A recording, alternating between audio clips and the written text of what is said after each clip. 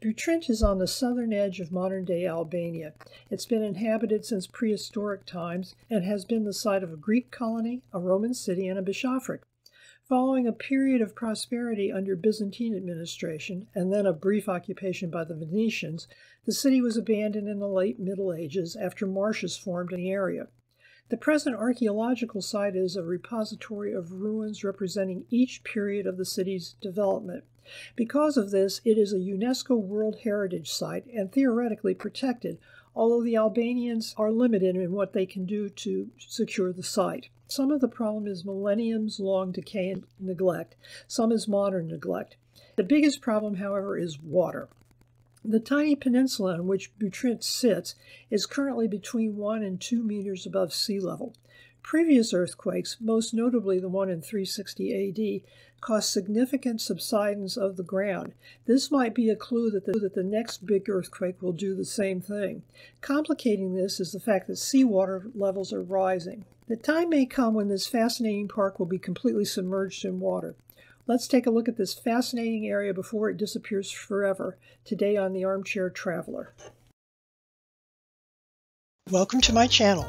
If you think this content is interesting or useful, please like, share, and subscribe. This will help the channel grow. Travel content often involves a lot of history, and history can be really word heavy, heavy enough that the details often don't make it into a video blog.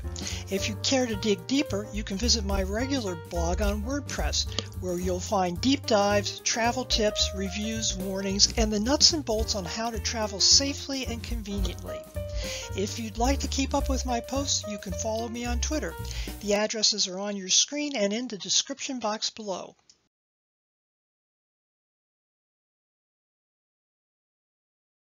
This is a view of the beach at Saranda, Bulgaria. I'm not a beach person, so it really had no appeal to me, so I opted for a day trip to Butrint, an archaeological park about 35 miles from here. I had never heard of it, nor had anybody on my tour, as far as I could tell. It's a World Heritage Site, which makes it a natural Judy magnet. The guide tried to tell me that Saranda gets all kinds of cruise ships, and I have no doubt that they are trying. We were the only cruise ship in port when I visited. Of all the people I've chatted with on the tour afterwards, not one had ever heard of Saranda, much less Butrint. I am convinced, at least for now, in my assessment that this was a cruise tryout port. From time to time, cruise ship companies try to expand their itineraries and give otherwise ignored ports a tryout. At snack time, I talked to an elderly English couple who partially confirmed what I had guessed. Turkey had been on the itinerary for this tour when they pre booked it a year earlier, and some months before the cruise, clearly before I had booked, they had gotten, gotten a letter from Holland America telling her that Kusadasi was out and Saranda was in. I have to admit, it wasn't my first choice of ports. In talking with the guide, I learned a little bit about the city. It's pretty small, and aside from the beaches and facilities catering to beach visitors, there seem to be a lot of bars. There's very little here to draw a visitor's attention. To be fair, however, the country and the city are still clearly developing. Walk a block or two back from the beach and you'll be confronted with not just very aggressive beggars, but the hulks of unfinished residential construction. As I mentioned, you only have to walk a few streets away from the promenade to find the legacy of Enver Hoxha's 40 years of his own brand of communist control, coupled with ongoing construction fraud. The buildings right on the beach are in pristine condition and doubtless command top prices for the owners from various tourists. But a couple of blocks uphill, you'll not only have to evade beggars, some of them very aggressive, but walk around, over, and through mountains of construction debris framing unfinished concrete block buildings. The good news here is that I did see plenty of rebar, reinforcing bars put into the concrete to stiffen and reinforce the walls in this, a serious seismic zone. This is an aerial view of the site. A huge amount of work has gone into clearing this site, which has suffered a great deal of damage from neglect, abandonment, groundwater invasions, earthquakes, and a lot of vegetation. Excavations and identification of the various sites, along with making it relatively safe for visitors, was well underway when I arrived in 2019. Unfortunately, not very long after that, the pandemic closed in, and somehow I doubt they've made much progress in the nearly four years since that time. The aerial view gives you some idea of the extent of the mapped remains. The theater, that arched object you can see in the center, was built by Roman residents, probably on top of an older Greek theater. The center area of it, which should have been where people stood and called the orchestra, is actually normally filled with water. Based on its physical proximity to what is now part of Greece, you'd be correct if you guessed that this was a Greek outpost or that there was a polis here. Polis is a Greek word meaning city. In ancient Greece, it originally referred to an administrative and religious city center, as distinct from the rest of the city. Later on, however, it evolved and was recycled into a Roman colonia. A colonia was originally a Roman outpost established in conquered territory to secure it. In 48 BC, Caesar arrived here in the midst of a civil war against Pompey the Great. Pompey had a naval base across the straits at the time. Stationing one legion here in the city, Caesar used it as a supply base and a bulwark against Pompey's fleet. After his victory, Caesar initiated a plan to colonize the city. The idea was that retired soldiers would settle there, marry, take root, and build cities. The Agora, Prytanean Stoa, and the Temple of Asclepios that you see here were all elements of the Greek site. Later, when the Romans arrived, they appropriated much of what had already been built and either recycled the buildings or renamed them. An agora was simply a meeting place that in Roman times evolved into a forum, although the forum is a little bit distant from the old agora. A stoa was a covered walkway, likely likely lined with shops, and a place where the citizens could meet and greet, and show off their fancy clothes, I suppose, as well as to shop and conduct public business. We still see them today in the form of colonnades or covered walkways outside our shopping malls. The Prytaneum housed a hearth of Hestia and its eternal fire, symbolizing the well being of the state. That sounds rather like the Roman temple to the Vestal Virgins to me. Asclepios was an important Greek god whose attributes and names were appropriated wholesale by the later Romans. His temple was an important part of the Greek community, and distinguished foreign visitors were sometimes invited. This view shows you the remains of the Greek agora, which eventually was converted into a Roman forum. It was the center of Greek city life. Notice that the foundations are stone. That's what makes people think that this was probably a Greek building initially. But the buildings above the ground line are actually Roman brick. The theater of Butrint dates back to the 4th and 3rd centuries BC. Every decent Greek or Roman city would have had one of these. It was an indispensable part of urban architecture. Although many of them are no longer recognizable, two millennia of rain, pollution, mining for stone, earthquakes, and general destruction will do that. This one survived in remarkable condition. The photograph shows the orchestra as well as part of the stage, each of which is covered with large pieces of plywood. They did that because the area underneath the plywood had about a foot of groundwater. The bridge in the photo on the right isn't over a moat. The entire site has subsided some, and the water under that bridge has turtles, so I suspect the water is a permanent feature. Location is destiny. Butrint sits alongside what has always been a major trading route and has fallen prey to every trading nation that came along Greek, Roman, Christian Byzantine, Ottoman Turks. The first image in this video blog showed that the site is literally dwarfed by a large saltwater lake. Here you see the so called Lake Gate, which sits in one of the city walls. From here, visitors in the Greek period could ascend to the Acropolis. The story goes that Aeneas sailed through here when he was bugging out of Troy and before he made it to Italy. He was said to have recognized this and said it looked like the gate in Troy. Butrint had fallen under Roman rule in 228 BC, long before these two men came onto the scene, but it really wasn't extensively Romanized until after Rome ceased to be a republic and became an empire. These two each played a role in that Romanization. In 228, Buthrotum became a protectorate of Rome alongside Corfu. In the middle of the second century BC, it was an independent state. In the next century, it became a part of the province of Macedonia. In 44 BC, Caesar designated Buthrotum, as they called it, as a colony to reward soldiers who had fought against him against Pompey. Julius Caesar, shown here on the left, had expanded the Roman Empire north and west to what is now Britain. Pompey the Great fought in Africa and Spain, quelled the slave revolt of Spartacus, cleared the Mediterranean of pirates, and conquered Armenia, Syria, and Palestine to the east. Each one of them wanted to be king of the world, and only one could succeed. The Roman civil wars are beyond what I feel competent tackling in a video blog, so I'll give you the 411 on it. Caesar boiled down from the north. Pompey was in Rome and had been designated by the Senate to lead the defense, but as Caesar advanced, Pompey split via the port of Brindisi, sailed south and east, and set up shop left his navy and men on Corfu. Caesar matched this, apparently, with a legion on the other side of the straits, near what is now Butrint. In the end, and it took a while, Caesar won. One of the things he did was to establish Butrint as a Roman colony, which is how the Roman building, rebuilding, and extension of the site, including extensive terraforming, began. The Roman Forum was planted on top of the former Greek Agora, which was already located in a nice flat area. There was a problem, however. In 360 AD, there was a huge earthquake, and the forum floor basically split in half. Part of the forum is now nearly three feet below the level of the rest of it. The forum was where Roman citizens were able to meet and greet, shop and chat, and transact public business. The public baths were reasonably close by. In the photograph on the left, you can see part of the recently discovered mosaic tile floor in the forum.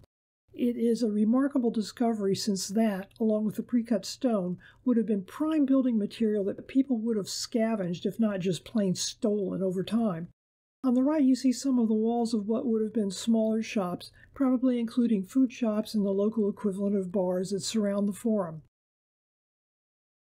Hardly any domestic buildings during either the days of the Roman Republic or the Roman Empire had any kind of indoor plumbing, so public baths were an important sanitary and social feature of all Roman and Romanized settlements. The Romans apparently got the idea, as they had so many others from the Greeks, but here they raised it to a new level. The Romans did not believe in understatement in their building projects. These were far more than just places to get clean, although that was their initial and primary purpose. They were meeting places, generally with separate accommodations for men and women. Business might also have been transacted here in different places, which might have included hot rooms that was supplied by piping that ran under the floors, warm rooms, cold rooms with plunge pools, dressing rooms, and more. Some even had libraries, what I think of as public art, mosaics, wall paintings, and probably more were required features for a civilized experience. Public baths weren't just ornate and efficient, they were sanitary. Roman public baths had a sanitation system with the water piped in and out. Baths were set up all over the empire for both military and civilian use. The initial idea was that cleanliness was necessary to maintaining a healthy military. Soldiers were used to them and clearly expected this feature, probably dolled up considerably, with under the floor heating when they became civilians. Here you can actually see parts of the raised floor. The openings you see were probably hypocausts through which hot air was forced to warm the bathing areas for the user's comfort and pleasure. The gyms, like all public buildings, including the baths, were often highly decorated. You can see the remains of a mosaic that would have been either above a door or a niche here on the left. On the right, you can see part of the remains of the wall of a Roman gymnasium. Sometimes the gyms included their own baths, which I believe is what the area now filled with still water must have represented. During my visit, however, it was not identified. This is called the Nymphanium. It's a fountain from the late Roman period. The fountain was fed by a Roman aqueduct that passed near here along the line of the ancient city wall. Fountains were an important feature in Roman settlements. There was no indoor plumbing, so this is how people got fresh water. The lion gate shown here is named after a large relief showing a lion attacking a bull. It was placed here sometime in the 6th century AD. The Lion Gate actually led to the lake and is built into the city walls. The lion relief was originally from a temple, possibly from the Acropolis. Putting in that huge stone lintel sharply reduced the size of the gateway, which is much shorter than the lake gate. Opinions vary about the origin and nature of the well of Junia Rufina. The story I was told during my visit was that she was a wealthy Roman citizen, and that part appears to have been correct, whose home was very near here. I rather have doubts about that second part, although I suppose anything is possible. But would a wealthy Roman really pitch up a house next to the city gate? I dug into this because I have an insatiable curiosity bump that demands scratching. Another story is that this was the focus of an early cult, this time to nymphs, although which ones exactly have never been specified that I can find out. In the Roman period, it was rebuilt and dedicated to the nymphs by Junia Rufina. A dedication is actually recorded in some carvings on the top of the well. After the Roman Empire was split, the Byzantines turned Butrint into an important Christian center. The baptistry that survives to this day was a Roman structure that was repurposed later on. It features an amazing mosaic floor displaying animals and an amazing geometric pattern, most of which now is sadly covered in a protective layer of sand and only uncovered a few days during the year. After the Roman Empire was split, the Byzantines turned Butrint into an important Christian center. The baptistry that survives to this day was a Roman structure that was repurposed later on. It features an amazing mosaic floor displaying animals and an amazing geometric pattern, most of which now is sadly covered in a protective layer of sand and only uncovered a few days during the year. Not far from the baptistry is the basilica. It's made entirely of stone except for the supports for the arches, not brick, and it has a nave with two rows of arches. Part of the original floor survives, and to me, it is still recognizable as a church. Eventually, after Rome fell, others came along to fill the vacuum and take their place. Venice rose as a trading and military powerhouse. By that time, however, a devastating earthquake had tumbled down all of the existing infrastructure here in Butrint. The Venetians, as a benefit of purchasing Corfu, acquired Butrint. However, in the 15th century, Butrint was, repeated, was repeatedly assaulted by the Ottomans, who really wanted Corfu, which would have given them a chokehold on sailing in this part of the sea. So ownership passed back and forth. The fortress is called the Triangular Castle, not because of the tower you see here, but the shape of the castle grounds. It was actually built to defend fish traps for the city, many of which were the primary financial asset of the settlement during the Venetian period. Soon afterward, the old town was, was abandoned in favor of the castle. The green area you see here is, most likely reclaimed land being used for farming. The Venetian tower you see here was adjacent to the early Roman bath, which we've already seen. The tower has two cannon ports built into the walls on the sides that overlook the channel and sports musket ports, which are visible in my photo. An entrance to the tower is on the side and was originally protected by a drawbridge. The tower is built on dry ground and is not affected by the fluctuating groundwater levels in the area. These are the remains of the Triconch Palace. The first phase of the complex probably dates to the late 4th century AD, although whether before or after the earthquake I do not know. It was added to in the 5th century as well. In 360 AD, a major earthquake had toppled much of Roman Butrint and had caused the level of the area to drop close to three feet. This was already a low lying area. The palace was built over the garden area of an earlier palace and over at least four earlier buildings, parts of which were incorporated into it. By the 6th century AD, the palace was afflicted by rising water levels, although new rooms were being added. However, the rising groundwater levels were such a problem that the building was abandoned.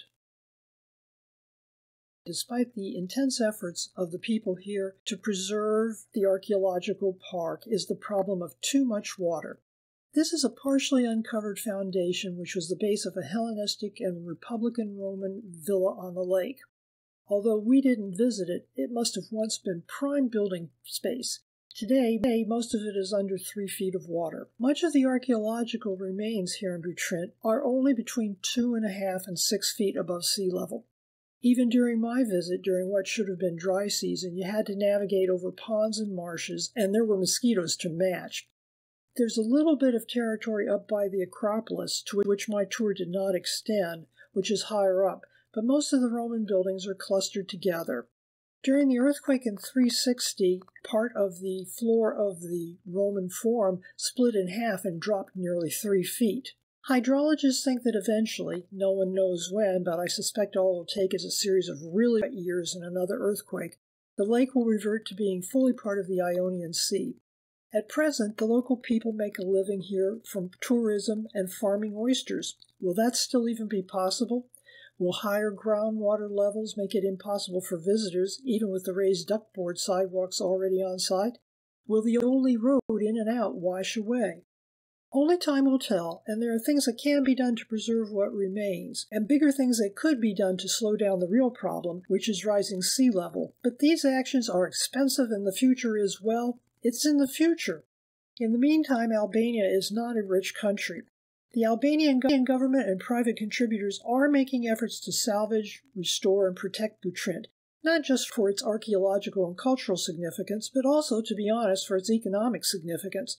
Properly restored and better labeled, lack of labeling was a consistent problem throughout the site, and this place could become a real tourist powerhouse. Thank you for walking with me in Butrint today. Come back next week for another walking tour here on the Armchair